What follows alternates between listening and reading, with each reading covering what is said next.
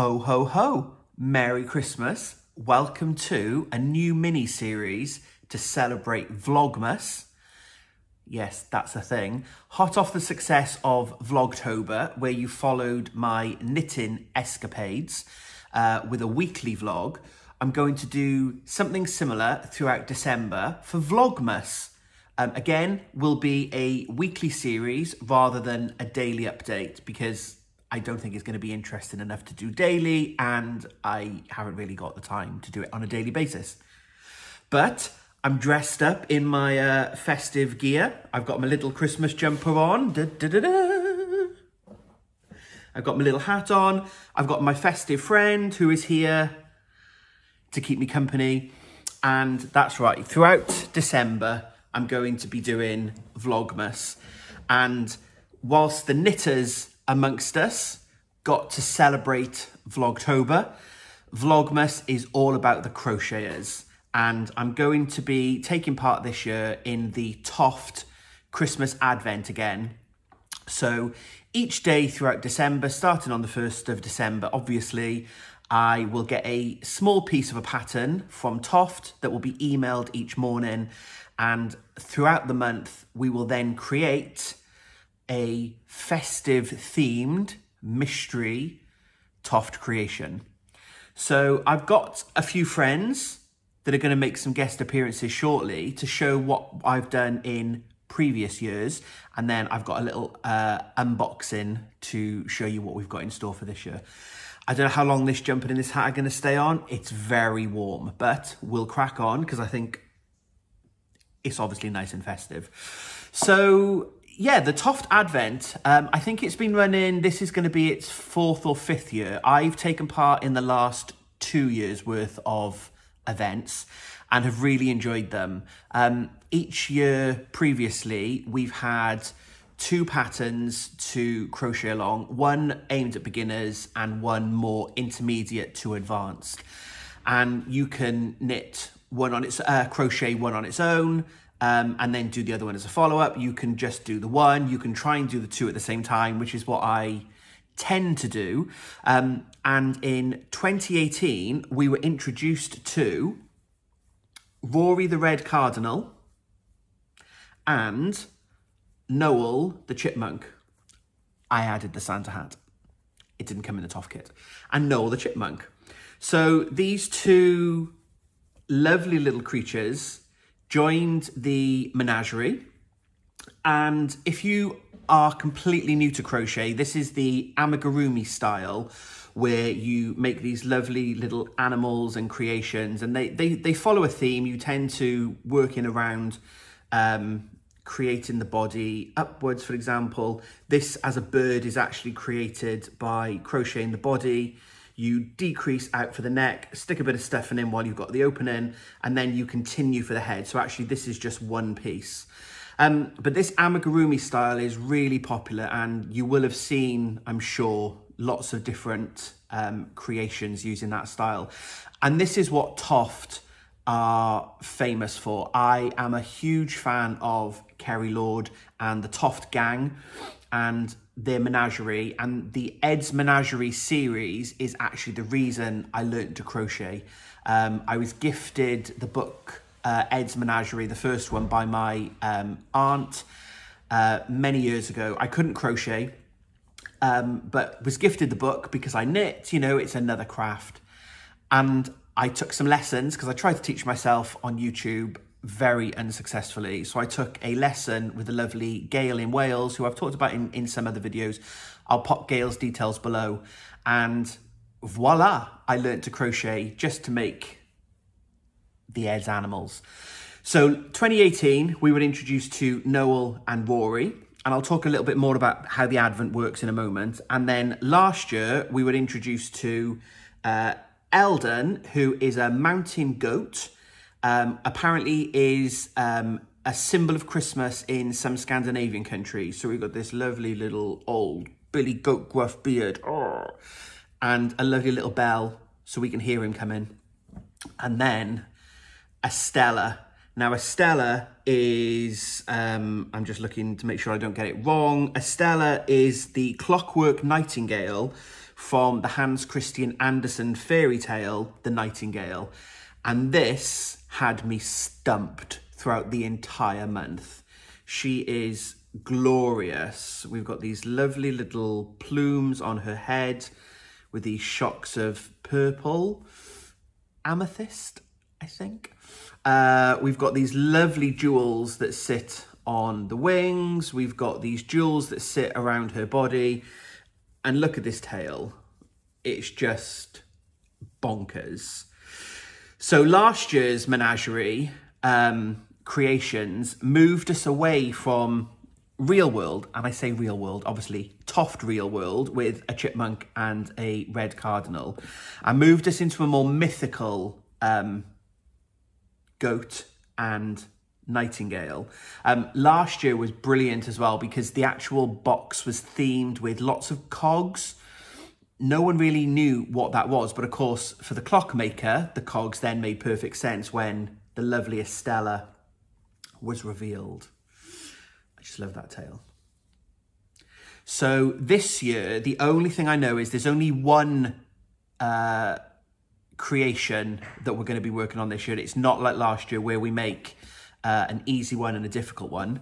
Uh, this year we're just making one and we're making a doll. That's all I know.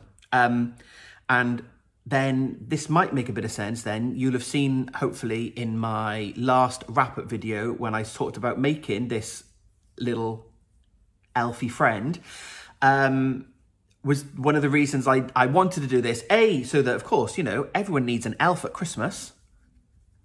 Good elf sitting on my shoulder. Um, but also because I'd never made one of the Ed's doll creations before. I'd only ever made Ed's animals. It's a slightly different construction technique.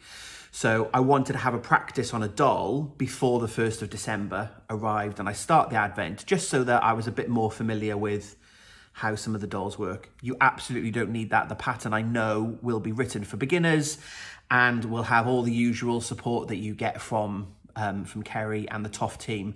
But why not, hey? Um, so yes, so I hope you're going to follow along with my progress um, this year as we make Ed's Advent. Um, I said I'm not going to post daily videos. I think I'm going to do a weekly video. Um, 1st of December this year is a Tuesday. Um, so I'll probably try and aim for a Saturday or Sunday video. Um, and each day as I start the Advent and I'm working on that day's clue, I'll film a little bit of progress to show how the creation is developing or if there's something interesting for that day.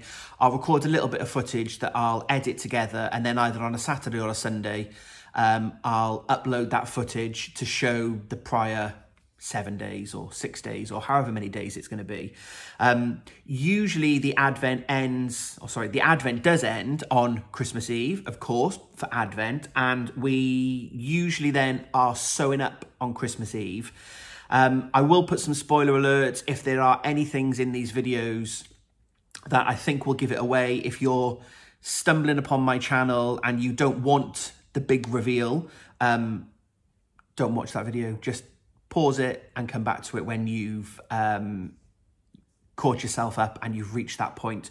But I'll try and record a final video on Christmas Eve then, time permitting, with all the usual festive madness, to share what the finished Ed's doll creation is going to be for this year.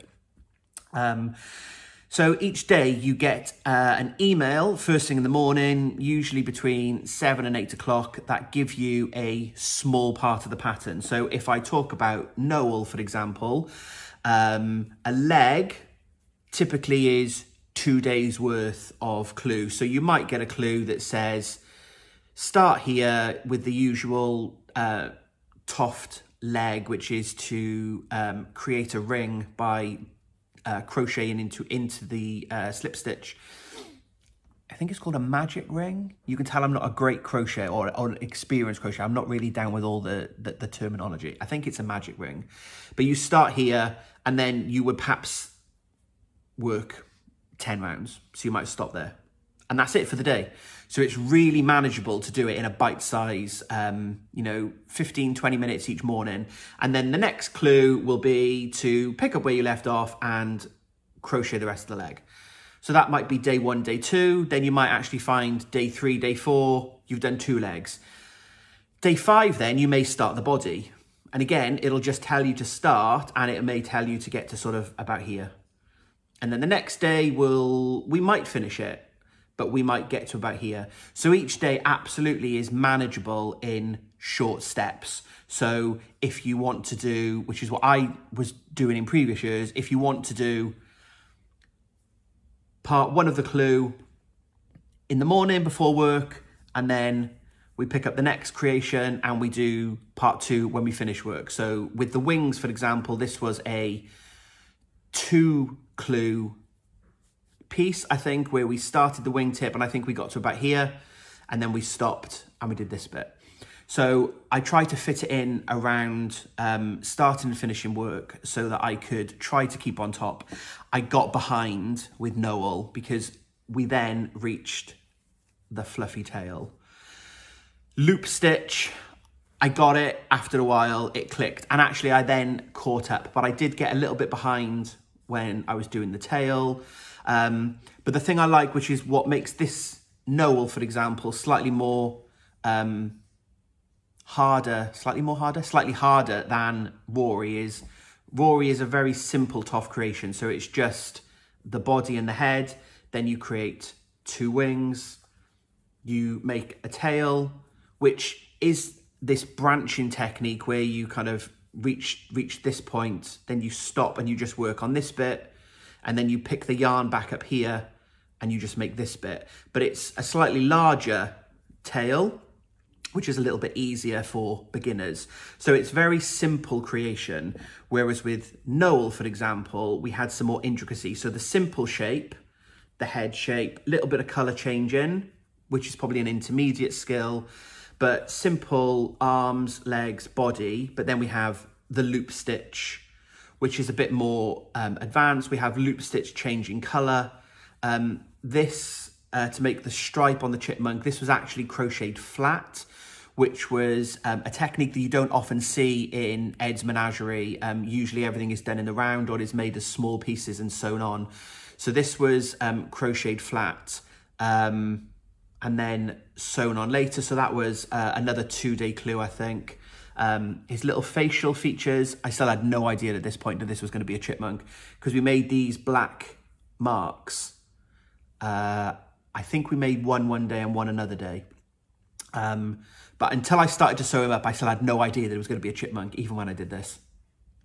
The surprise worked on me, Kerry, if you're watching. Um, so yeah, so there's some more advanced techniques on some of the animals. And of course, if you take the same principle as last year, Eldon would have been very straightforward in as much as creating the body, the head, the arms and legs. Very simple Toft tail um, and these lovely golden horns. Um, whereas Estella, she's a fancy lady. Uh, lots of small crochet creating these little diamonds. Um, we had the legs. I, I think this is really difficult. I managed it last year where you put the fourth toe on so you have to pick up stitches here and then, oh, I hated that. It took me like five or six times to do it. This really elongated fancy tail, which is much more complicated than Rory's tail, although the techniques are very similar. So you get the idea. So this year, we're just doing one creation and it's going to be a doll. And that's all I can tell you. So I don't know how we're going to tackle it in terms of um, ease because of course we have easy and hard. Um, it's an it, it, I'm guessing it's going to be an intermediate pattern. I wouldn't have thought it's going to be just for beginners, but as I said earlier, there's so much support from Kerry and the team. There will be YouTube videos that show different techniques. There will be Instagram lives. There will be um, so much support uh, for people to get into the um, into the creations. So I'm very much looking forward to adding to my Christmas family. So, just before I go, I'm not going to do a proper unboxing um, because I will keep that for day one, but My box has arrived, lovely in the Toft Brandon box. And within the box, so. So as usual within the box, um, I've got some uh, freebie patterns. That's a lovely hat. Uh, little mini crochet stocking. I'm probably going to have a go at one of those. Um, so you get some some free little patterns, um, and then underneath, excuse the rustling, underneath the tissue paper, then I have my Toft Ed's Advent 2020 tote bag. So this has got the stuff in. So put that down. So this has got the stuff in. It's quite a lot of stuff in. So I'm guessing it's going to be a a fairly big doll. I think they did say did say in the pre-sign up how big the doll was, but I can't remember that now, and I'm not going to faff because I'll tell you again. But there's my stuff in, and then, and this is why I'm not I'm not opening this yet because it's so beautifully wrapped. Ah. So we have the uh, stickers for 2020, um, and yeah, it's just gloriously wrapped.